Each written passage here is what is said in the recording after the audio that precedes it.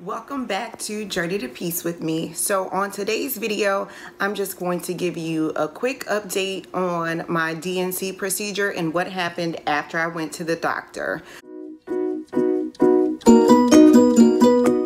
So after I went to the doctor uh, to do my checkup on my D&C, I was told that I had a lot of bleeding, that the doctor had to remove fibroids, um, I had polyps and that he did see some cysts that he had to take out. Um, the procedure, like I said in the other video, um, it wasn't painful. I don't remember the actual procedure because I was under, um, but afterward I was scared. Um, I was scared because they did the biopsy to determine whether I had endometrial cancer and it wait I waited two weeks to go back to the doctor and those two weeks felt like pure torture. But at the end of those two weeks the doctor told me that I do not have cancer and so I am very thankful for that. Um, however he told me that I did um, have some issues that we need to address. Um, so they did some blood work on me and they've determined that I am insulin resistant.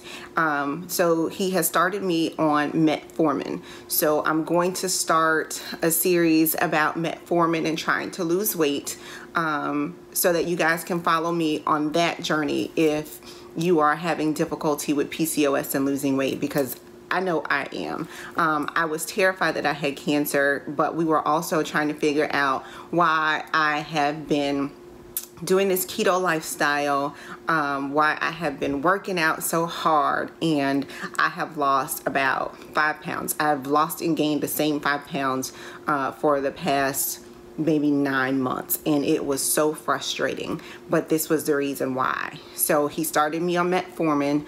Uh, I started that I think two weeks ago uh, no, one week ago, Friday. I'm on 500 milligrams. I take it one a day. Um, and he will gradually increase the dosage once he realizes I can tolerate that. Um, now, for the treatment of the thickened um, lining, he is recommending that I get an IUD and he wants me to come in after my first cycle. So remember in the last video, I told you that based on my research, it takes about two months for people to get their cycles and I told you I'm not normal right? So I got my cycle probably the week after I had the procedure um, and I, I told the doctor this and he was like well you know you bleed a lot. You bleed very heavily so um, I'm not surprised that that happened to you. Well it happened again. So um, Friday, which was two days ago, because I'm making this video on a Sunday, but two days ago, I got my cycle again. And it just came out of nowhere. It's not in the same time period that it usually came, but it's it's close because it was at the end of the month. Um, and it came out of nowhere, and I was surprised and I was scared.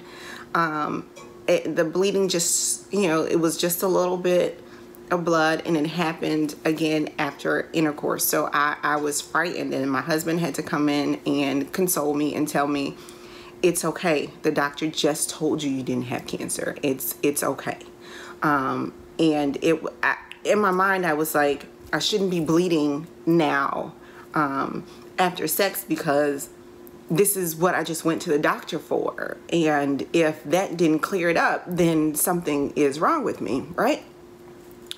Um, but he reminded me, you haven't had your period this month. So maybe your period is coming on and it's going to be okay. But in my mind, I was like, no, something's wrong. So it was my period, I'm happy to say. Um, sorry, I don't, got teary eyed thinking about it. Um, so it was my period and it came on with a vengeance, okay? Um, I, it is heavy. I am surprised that it's heavy like it is because I thought after the procedure that it would be light because that's what other women said. Mine is not. Um, I was wearing a menstrual cup and my cup was like not today. I'm not doing this. And my cup gave out on me, so I had to take it out. Um, I think I may need to get a different size cup now after the procedure is done. I don't know if some things in there have changed a bit. Um, so I may need to get a different size cup because my cup was like, yeah, no, I'm done.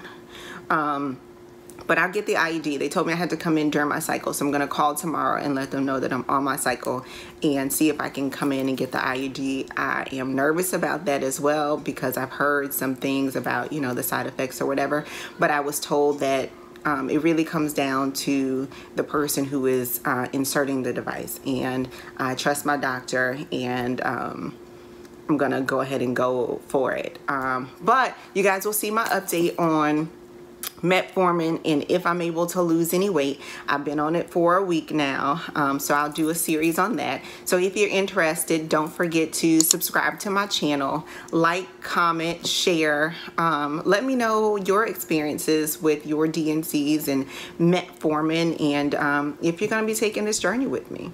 And until next time, journey on.